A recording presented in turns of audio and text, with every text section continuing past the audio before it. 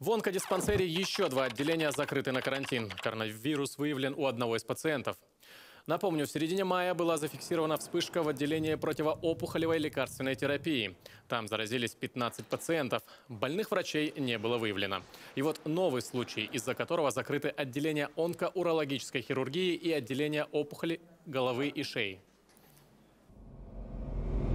У пациентов и сотрудников, контактировавших с зараженными, около 70 человек взяли анализы. Пациенты, оказавшиеся в закрытых отделениях, продолжают получать лечение. Новых пациентов эти отделения госпитализировать не будут до окончания карантина. Остальные отделения краевого онкодиспансера работают в прежнем режиме.